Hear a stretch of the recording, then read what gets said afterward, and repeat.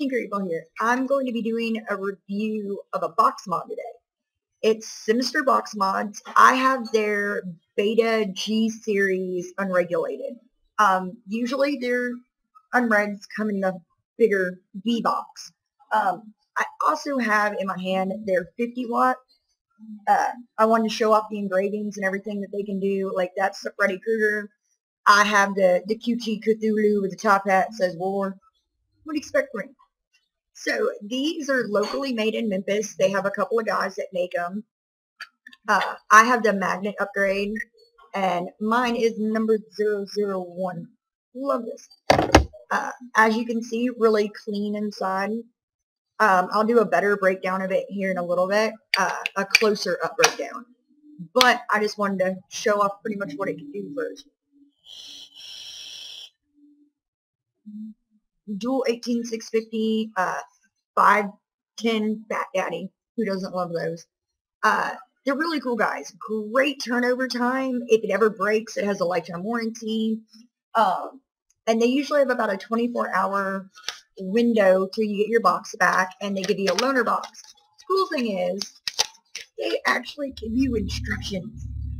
And then they have all their warranty stuff on the back. Uh, like this is the instructions for the 50 watt, I left my instructions at home because I'm brilliant like that because I'm at the shop.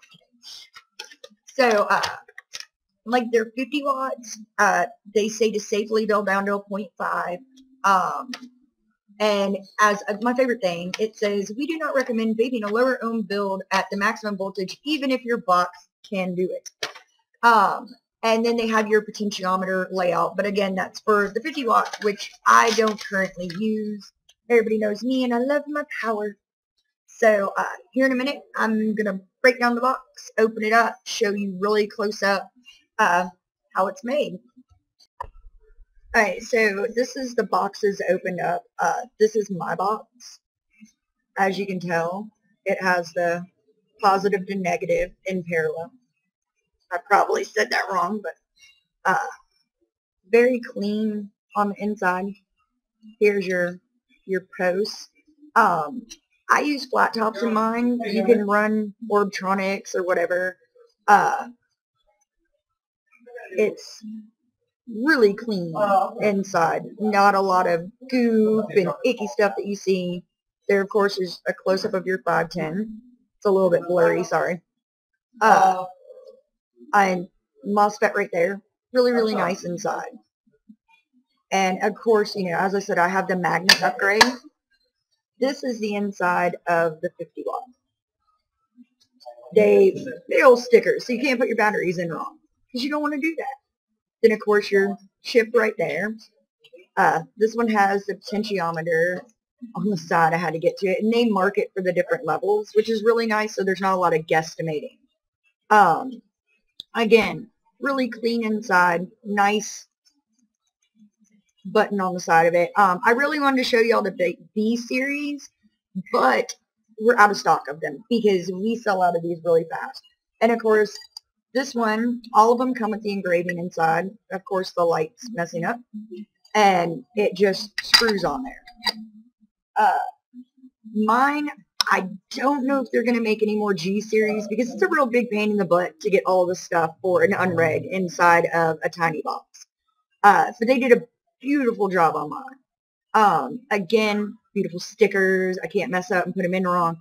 Just remember if you get them to get, marry your batteries. Um, I have mine and I know which is which by the number on them. And mine are rewrapped Sony or Samsung. Ah, I'm out of it today. Samsung R's. Uh, they recommend VTC 4s, Orbtronics, uh, VTC 5s, Samsung eFest, or uh, Samsung or the eFest. Um, but as I said, you know, be really careful when you're putting your batteries in and out. Uh, always make sure to take them out positive side up. Marry your batteries that way your voltage is always the same. Um, they drain the same, charge them both at the same time and then also mark them like one and two, and each time you charge, reverse them. That way, you know, you get a good charge every time. Look, I'm trying to put mine on backwards. I'm doing really strong magnets. Uh, they have my polarity done to where I can't put my top thing on wrong and my door. There we go. Uh, again, the engraving on them. He did a beautiful job. So um, I'm going to do a couple of videos of the actual clouding off of these, and that will pretty much be all of it.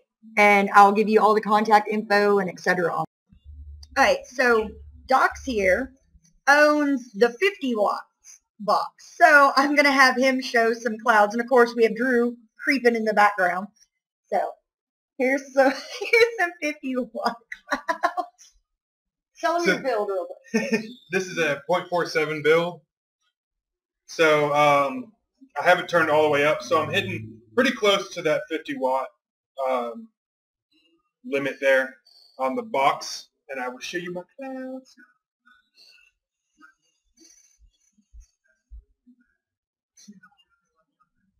They're baby clouds.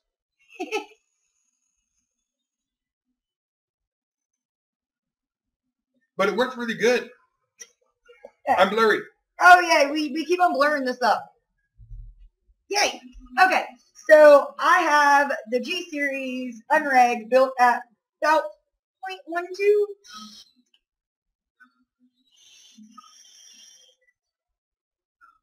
My clouds are stuck in today.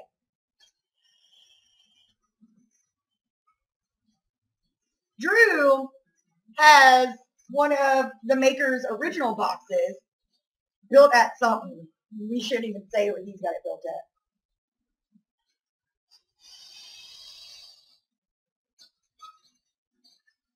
It simpler.